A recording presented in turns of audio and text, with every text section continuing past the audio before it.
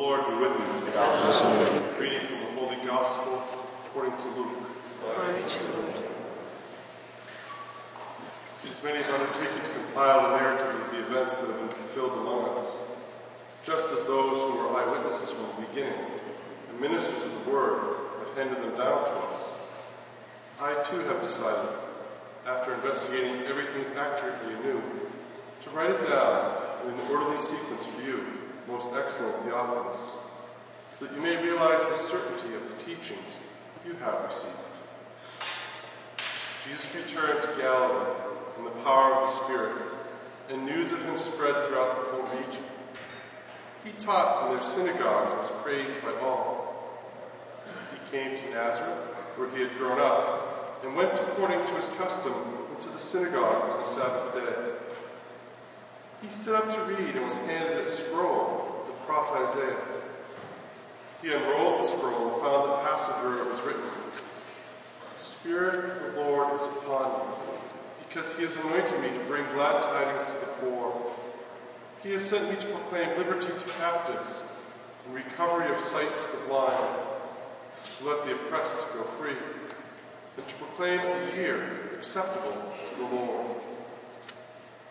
Rolling up the scroll, he handed it back to the attendant and sat down. And the eyes of all in the synagogue looked intently at him. He said to them, Today, this scripture passage is fulfilled in your hearing. The Gospel of the Lord. Praise you, Lord Jesus Christ.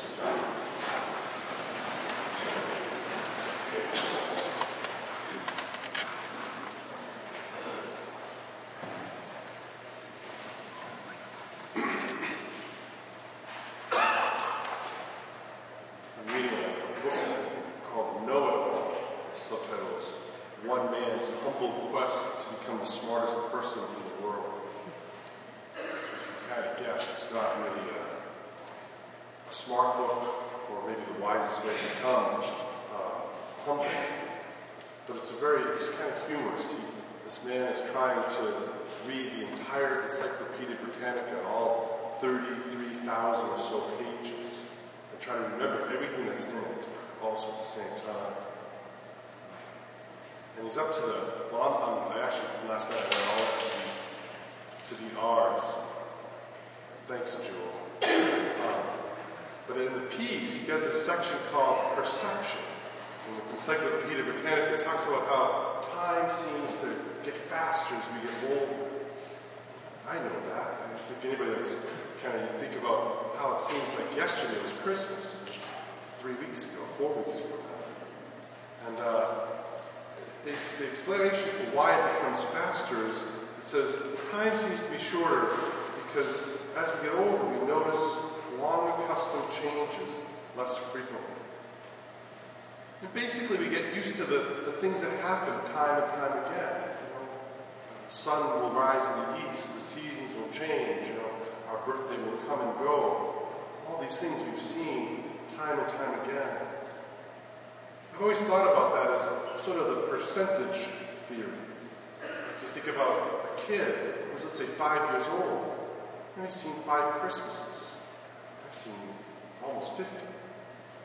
A kid who's five years old has seen, you know, maybe 1,500 days go by. I've seen well over 100,000. So another day is such a smaller, such a bigger percentage for a kid. It's a big deal. For us as we get older, just another thing that goes along. In a way, I was thinking about that in terms of our readings. When we talk about our readings being the good news, sometimes the readings just, we get accustomed to them. They come and they go, and they're just part of our, our routine on Sundays. What's new about this gospel passage or, or this reading from, from Ezra? What's, what's different? What's new? But I don't think the good news is that we hear it for the first time. Maybe there are people in the church who have never heard this gospel passage. And for them, it's new in that sense. The good news is what it does to us. How the interaction of, of word spoken, of, of this powerful word made flesh, changes us. and the encounter brings about something new. That's the good news.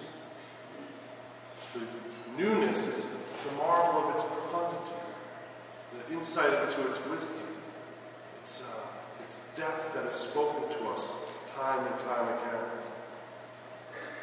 And think about Ezra standing before the people. For them, it was a, a new thing.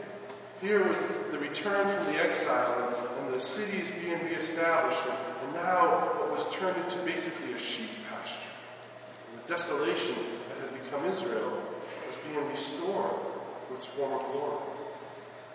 And as part of the process, the Torah is read from daybreak until midday. And the people stand attentive. It's part of this amazing event. And they go from, from standing to prostrate to, to weeping to joy. Sort of a, one of Father Jim's early homilies where they go, Amen, Amen, throughout the whole day. And it's so wonderful. It's such an amazing moment.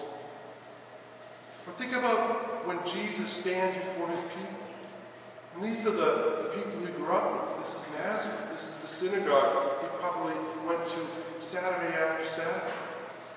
His family would just gather for the reading of the scriptures.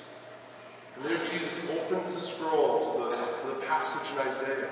And the people look attentively at it. Reads that scripture passage, which is maybe uh, the, the flag, the, the, the signal, the, the announcement of what his whole ministry is going to be about. The Spirit of the Lord is upon me. He has sent me to preach glad tidings to the poor, liberty to captives, a year of favor. It's, it's this amazing personification of our salvation. And the people are attentive and they hear. You see, what's new in today's gospel is not that we've never heard that and never experienced that salvation is done. What's new is that that saving mission should touch us and bring forth life. What does the psalmist say? Your words are spirit and life. So God, for age upon age, has called his people to restoration, has called the brokenness into healing, has called the exile back home. He has broken the bonds that, that hold us captive and brought us liberty. Does so again. What Ezra proclaimed in the book of the law, Jesus is in his very person. What Ezra explains and, and gives instruction about, Jesus will teach and live as Word made flesh. As Ezra inspired the people through the reading of, this, of the law, Jesus will breathe upon us his very Spirit, and we will be inspired filled with the Spirit, become his very body. And that good news that we encounter time and time again should go forth with us. It's part of our life as Christians. It is lived in our hearts, if God's heart dwells in our heart. It is lived in our lives if, if his very blood flows through our veins.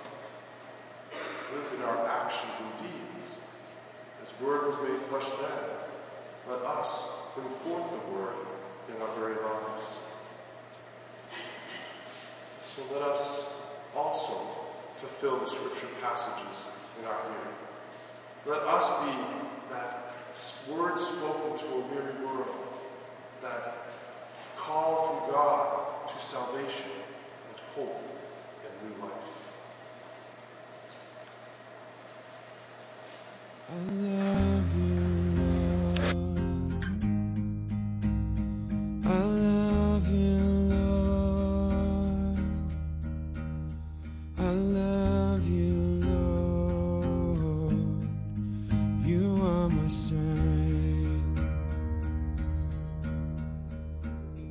I love